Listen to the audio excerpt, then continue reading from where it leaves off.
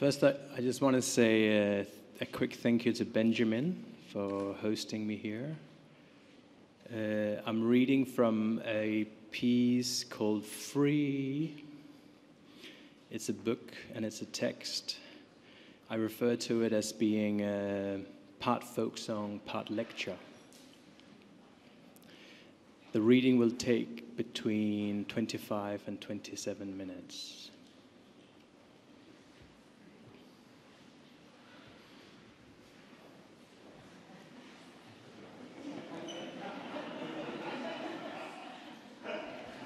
Make yourself comfortable.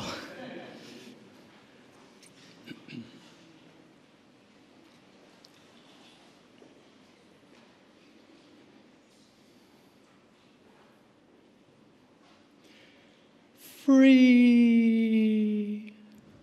Dumb male, historical male, white male, perpetual male, relinquished male, tame male, stiff male, black male, thinking male, pernicious male, lonely male, powerful male, intoxicated male, skinny male, chatty male, queer male, poor male, vernacular male, obnoxious male, universal male, frantic male, singing male, trained male, pale male, good male, limping male, insipid male, quiet male, nefarious male, carrying male, dominating male, useless male, unknowing male, bold male, body male, bitter male, naked male, loving male, hairy male, clever male, detrimental male, Asian male, rural male, gay male, leading male, inferior male, domestic male, metro male, highly male, indigenous male, tempered male, fatherly male, angry male, sleeping male, straight male, oblivious male, working male, numb male.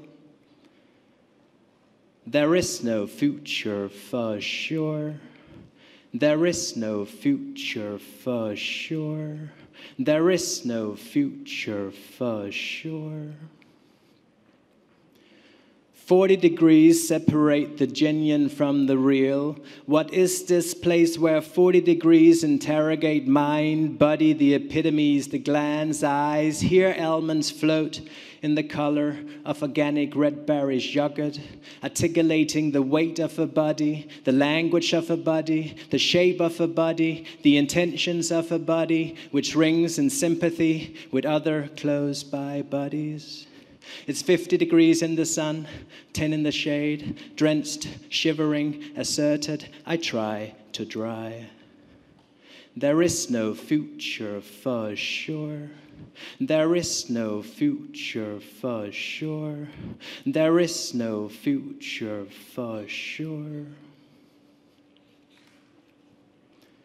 Free. Free. We have gone full circle and are now back at full bling. We have gone full circle and are now back at full bling. I have gone full circle and am now back at full bling. What is my status? One, two, three, four, five, six, seven, eight, nine, ten, eleven, twelve.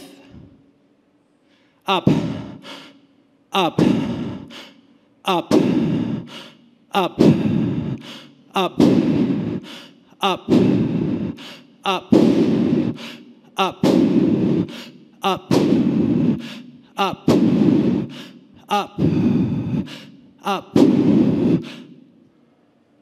out, out, out, out, out, out, out, out, out, out, out, out. There is no future for sure. There is no future for sure. There is no future for sure. Lack of language is the dominant feature of being taciturn. To be without language does not mean to be without presence, nor without ability and desire for communication. Something is understood without being stated. Tacit knowledge, as opposed to explicit knowledge, relies on an intrinsic comprehension, one that a subject carries primarily in the body and not in language. Explicit knowledge is words and reason in a Cartesian sense. The taciturn person might be without language, but not without a body. Building a body is personal. It is a project driven from within by way of control, will, scheming. It requires an understanding of the body, how it reacts, and what it needs to achieve an enhanced presence. The augmented body is arguably the assimilation of an individual in its image, and consequently a project in making oneself available to the other, to the social, and therefore to history. Enhanced presence not by way of language, but by way of body. In Against Ordinary Language, the language of the body, Acker surrenders to the language of bodybuilding. As a result of not being able to engage it through her writing, she meets it by means of the body or the language of the body. This language comes into being twofold. First, as a rejection of ordinary language. Second, out of needs, rhythms, demands imposed on the body by the body author. To build muscle, Acker says, happens by way of failure, pushing a local area of the body, a muscle, to the point of failure allows the bodybuilder to lure it back into being, to be built beyond its previous capacity, its previous image. The language of the gym is one of counting, of keeping checks, one that aligns itself with breath, with the breathing body, prompting both constructive and deconstructive moves. To build muscle is a negation of positives and negatives by way of language, a language that is merely an extension of the body and of the body building project. There is no future for sure. There is no future for sure. There is no future for sure. In, in, in, in, in, in, in, in, in, in, in, in. One, two, three, four, five, six, seven, eight, nine, ten, eleven, twelve. Push, push, push, push, push, push, push, push, push, push, push, push. There is no future for sure. There is no future for sure. There is no future for sure. When forming in the embryo, the digestive tract pushes through in the opposite direction to the function it later comes to serve. Consequently, the mouth and the anus have shared traits such as skin type, sensitivity, and shape. Let's think of God and nature like that mind and body, left and right. Let's have them form a totality, not in a sense that they are one and the same, but that they together produce a whole. In musical terms, we call this a polyphony. Imagine this totality, this polyphony, to collapse and therefore split into separate parts. Quoting Deleuze, quoting Nietzsche, don't exchange the intensity for representation. What does it take to uphold an intensity? What does it take to not become representation? Does Deleuze and Nietzsche, both Deleuze and Nietzsche, are beholden to Spinoza when declaring this distinction? Intensity is formed from multiple parts like atoms or particles drawn into formation by a shared force. This force, this togetherness in flux, is one way of thinking Spinoza's correlation between mind and body. For him, they are different, distinct in kind, insofar that they don't share properties, but they originate from the same source. They are the same source. They're always in the same time. They consequently perform the same act. They produce the same effect in two different languages as two different tools. One, two, three, four, five, six, seven, eight, nine, ten, eleven, twelve. There is no future for sure. There is no future for sure. There is no future for sure. back, spine, bum, leg, foot, toe, knee, leg, hip, belly, chest, shoulder, neck, head, eye, nose, mouth, chin, cheek, neck, shoulder, arm, elbow, hand, finger. Ache, sweat, blush, eat, cope, sleep, work, share, shape, edit, govern, take, try. Get that thing that sucks on everything. Down, down, down, down, down, down, down, down, down, down, down, down. One, one, two, two, three, three, four, four, five, five, six, six, seven, seven, eight, eight, nine, ten, eleven, twelve. There is no future for sure. There is no future for sure. There is no future for sure. When defining decreation, Weil looks to destruction first. She understands that if we are prepared to accept there can be nothing, there can also be something. Weil's decreation makes something created pass into the uncreated, whereas destruction makes something created pass into nothingness.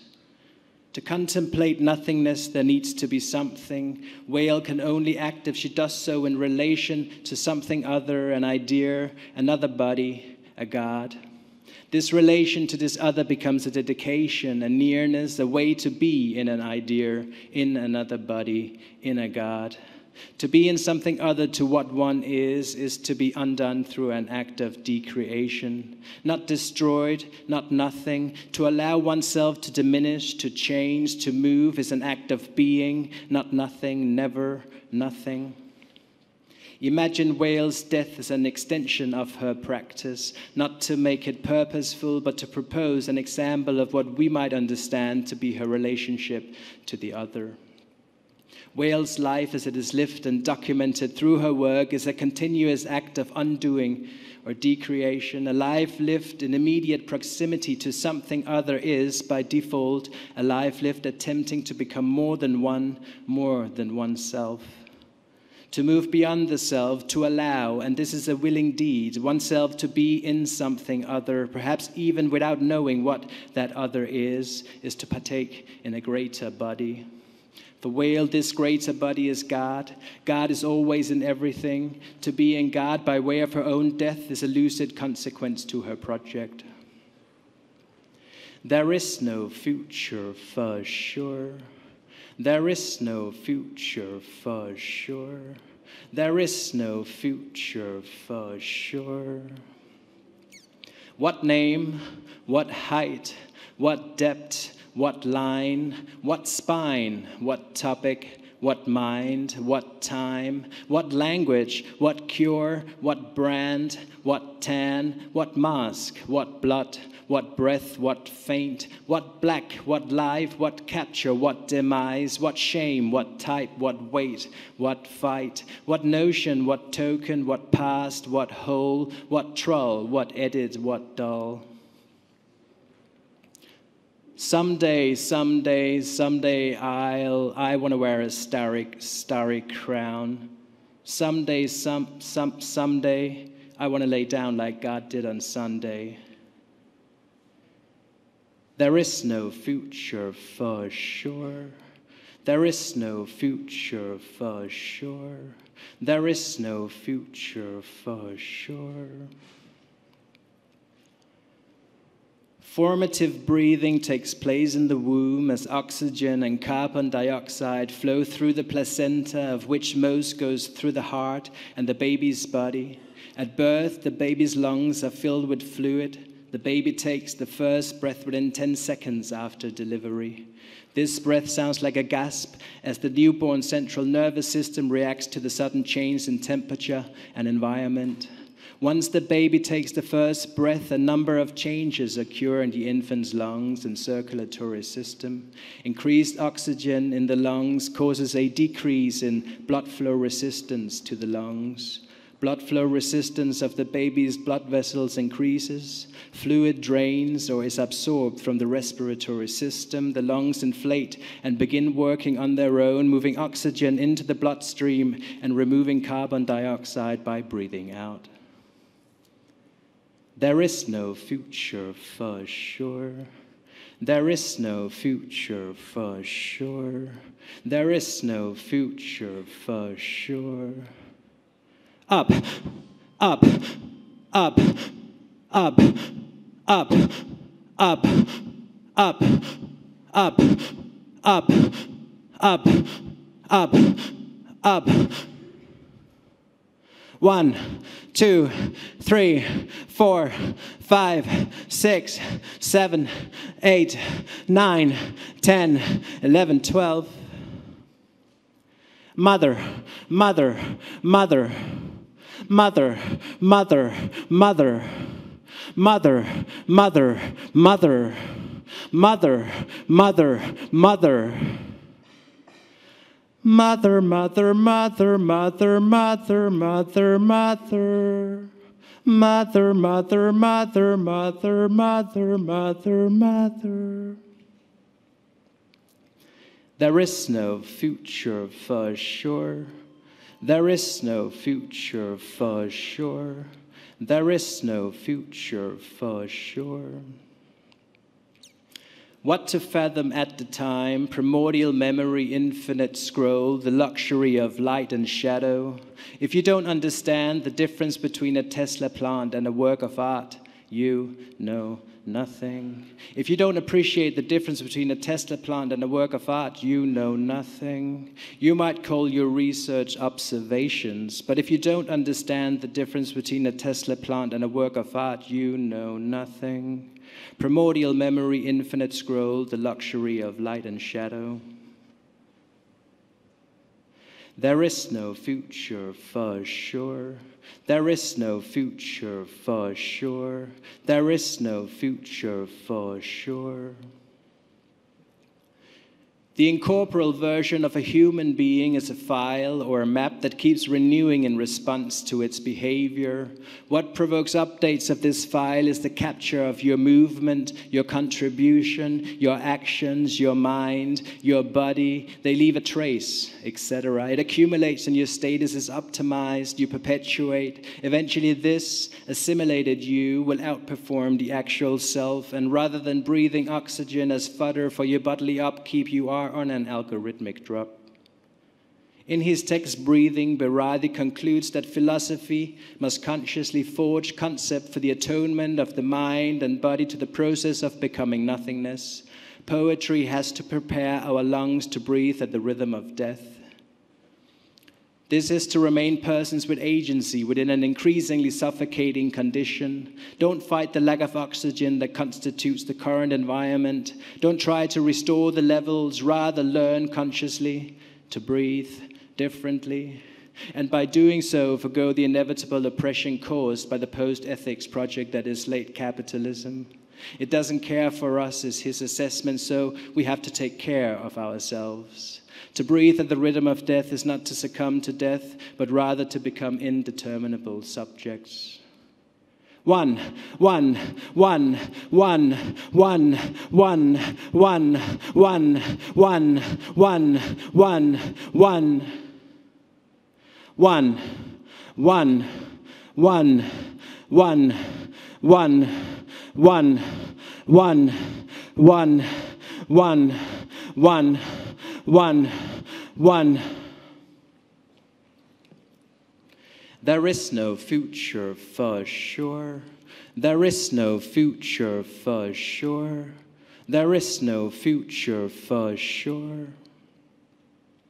Presentation culture representation culture, die for culture, pay for culture, fly by culture, shy, sly culture, mainstream culture, same day culture, ape shit culture, cardboard culture, tame culture, lame culture, online culture, cult culture, cancel culture, shaky culture, nope culture, dope culture, makeup culture, faked up culture, veggie culture, slit culture, tight culture, bad culture, nup nup culture, sloppy culture, straight culture, touchy culture, trans culture, sweaty culture, work culture, feeble culture, sleepy culture, shappy culture, drone culture, spelt culture, Mickey Mouse culture, no such thing culture, wiki culture, sticky culture.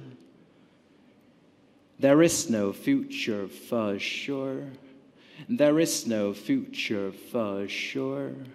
There is no future for sure. When something genuinely new arrives, it does so without announcing its intention. To be new, it needs to lack an image, lack purpose. To find purpose is to position something in relation to something other, and by way of this proximity, develop reason. In between past and future, Arendt makes the following observation. The appeal to thought arose in the odd in between period, which sometimes asserts itself into historical time, when not only the later historians, but the actors and the witnesses, the living themselves, become aware of an interval in time which is altogether determined by things that are no longer and by things that are not yet. In history, these intervals have shown more than once that they may contain the moment of truth. Truth is a funny size. Under the current reign, it's also a fucked up size. Arendt's articulation of this most fugitive notion might be as close as we get to a definition of what it takes to get to it or to handle it.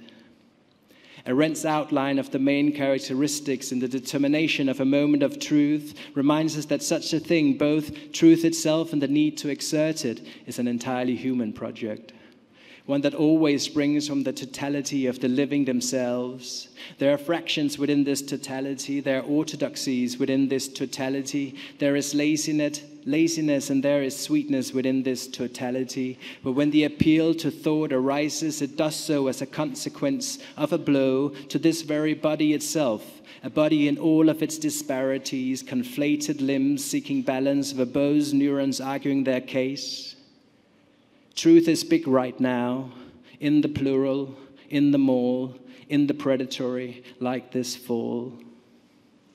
The doctrines of the previous century are summoned by a new and, in many respects, unsolicited approach to the idea of truth, one favoring quantity over particularity, motion over code, buff over faint, body over mind, echo over arrow, shame over fruit, course over slit, butt over stilt.